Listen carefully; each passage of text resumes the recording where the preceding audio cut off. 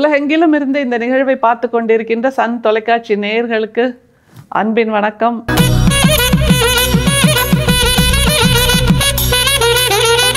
நம்முடைய வள்ளல் பெருமான் அப்போதுதான் ஆரம்பித்திருந்த அந்த உரைநடை பகுதி என்பதை மிகச்சிறப்பாக கையாண்டு நமக்கான விஷயங்களை அள்ளி அள்ளி கொடுத்தார் அப்படிங்கிறத நிறைய பார்த்துருக்கோம். உபதேச குறிப்புகள் அப்படிங்கிறது நமக்கு மனப்பாடமே ஆயாச்சு இப்போ.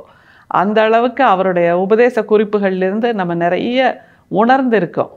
இன்றைக்கி விருப்பு வெறுப்பு அப்படின்னா என்ன அப்படிங்கிறத பற்றி சொல்கிறாரு விருப்புனா என்ன வெறுப்புனா என்ன இது ரெண்டும் நமக்கு இருக்கலாமா கூடாதா அப்படிங்கிற ஒரு ஆசிலேஷன் இருக்கும்ல ஒரு ஊசலாட்டம். அந்த கடிகாரம் முள் அந்த காலத்து கடிகாரம் பெண்டுலம் அங்கேயும் இங்கேயும் அசைகிற மாதிரி நம்ம மனசு இந்த பக்கமும் அந்த பக்கமும் அலைபாயும்ல அப்படிப்பட்ட நேரத்தில் வள்ளல் பெருமான் கொடுக்கின்ற இந்த குறிப்புகளை நாம் மனதில் நிறுத்தி கொண்டால் இந்த விருப்பு வெறுப்பு என்கின்ற நிலையை கடந்து எப்படி வாழ்வது அப்படிங்கிறத புரிய முடியும். இதற்கு நாம் மிகப்பெரிய தத்துவ ஞானியாக இருக்கணும் அல்லது எல்லாவற்றையும் துறந்த துறவியாக இருக்கணும் அப்படிங்கிறதெல்லாம் எதுவுமே இல்லைங்க. இயல்பான வாழ்க்கையில் கூட நாம் இப்படி இருக்க வேண்டும் என்பதைத்தான் வள்ளல் பெருமான் இந்த பத்தியில் சொல்கிறாரு உபதேச குறிப்புகள்ங்கிற பகுதியில் விருப்பு வெறுப்பு என்பதை பற்றிய ஒரு உரைநடை பத்தி. பார்க்கலாமா? விருப்பு வெறுப்பு என்பதற்கு பொருள். விருப்பு என்பது யாது? ஒன்றை வேண்டி பந்தப்பட்டு பூரண லட்சியத்தை விட்டு அதிசயமாக பார்த்து நிற்றல். இந்த விருப்பால் தானும் கெட்டு இதர வஸ்துவும் கெட்டு சாதனமும் தடைப்பட்டு விடும். எவ்வகையிலும் விருப்பென்பது கூடாது. வெறுப்பென்பது யாது? வேண்டாமை துவேஷம் இதர வஸ்துவை பற்றாதிருத்தல். இந்த வெறுப்பால் இதர வஸ்துவிடத்தில் துவேஷம் தோன்றி ஜீவோபகாரத்தை தடை செய்யும். ஆகையால் வெறுப்பும் கூடாது. மேற்குறித்த இரண்டு மற்ற சத்துவமயமாய் நிற்றல் வேண்டும். இதைத்தான் நாம் நம்முடைய தமிழில் பெரியோர் என்று வியத்தலும் இளமே சிறியோர் என்று இகழ்தலும் இளமே அப்படின்னு மிக இயல்பாக சுலபமாக சொல்லிட்டோங்க. ஏன்னா பெரியவங்க அல்லது சாதனை புரிந்தவங்க அப்படின்னு கண்ணு விரித்து விரித்து விரித்து அவங்கள பார்த்து அப்படியே நம்ம ஸ்தம்பித்து போய் நாம நின்னோம்னா நாம் அந்த இடத்துலையே நிற்க வேண்டியதுதான். அவங்க ஜெயிச்சு முன்னேறி போயிட்டே இருப்பாங்க. எல்லா விதத்திலும் அவர்கள் உயர்ந்து கொண்டே இருப்பார்கள். நாம் வியந்து வியந்து பார்க்கின்ற அந்த நிலையில் மட்டுமே நிற்க நேரும். அப்படிங்கிறது தான் நம்முடைய தமிழில் பெரியோர் என்று வியத்தலும் இளமே சிறியோர் என்று இகழ்தலும் இளமே அப்படின்னு ஒரு சங்க இலக்கிய பாடல் சொல்லுது அப்படிங்கும்போது நம்முடைய வள்ளல் பெருமான் விருப்பு என்றால் என்ன? வெறுப்பு என்றால் என்ன? அதையும் சேர்த்து சொல்கிறார்ல இது மிக முக்கியமான மனநிலை. வாழ்க்கையில் இல்வாழ்க்கையில் அல்லது இல்வாழ்க்கையில் இல்லாமல் நம்முடைய சமூக வாழ்க்கையில் எதற்காக இருந்தாலும் இந்த நிலைப்பாடு இந்த மனசு நமக்கு ரொம்ப தேவை.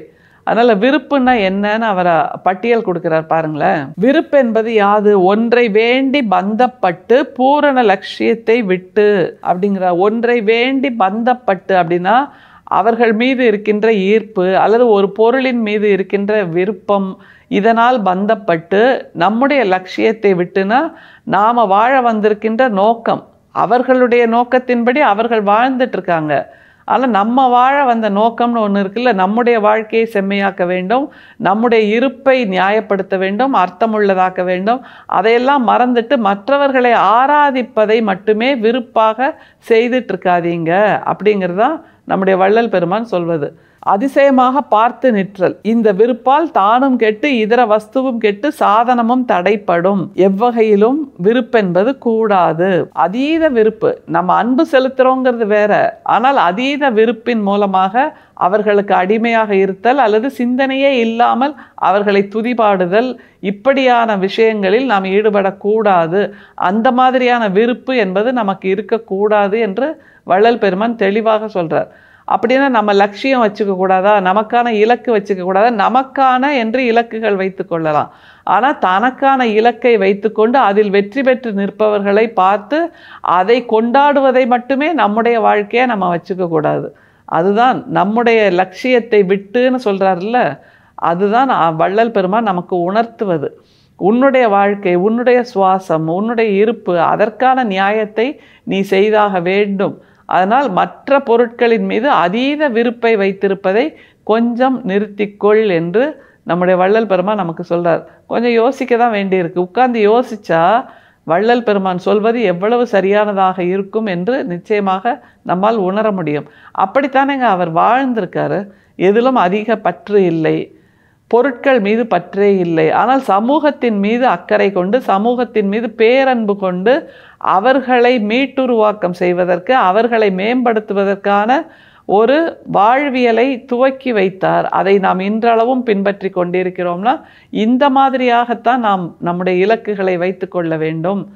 அதனால்தான் லட்சியமும் கெட்டு அப்படிங்கிறார். நம்முடைய வாழ்க்கை லட்சியத்தை நாம் பின்பற்றியாக வேண்டுமே தவிர மற்றவர்களை வெறுமனே ஆராதிப்பது போற்றி பாடுவது அவர்களை புகழ்ந்தேத்துவது என்பது மட்டுமே நம்முடைய விருப்பாக இருக்கக்கூடாது.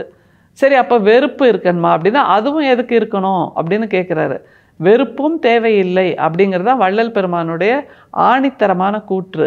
வெறுப்பை பற்றி என்ன சொல்றார் பாருங்க. வெறுப்பென்பது யாது? வேண்டாமை துவேஷம் இதர வஸ்துவை பற்றாதிருத்தல். இந்த வெறுப்பால் இதர வஸ்துவிடத்தில் துவேஷம் தோன்றி ஜீவோபகாரத்தை தடை செய்யும். யோசிச்சு பாருங்க. வேண்டாமை துவேஷம் இதர பொருட்களிடம் பற்றற்று இருத்தல்.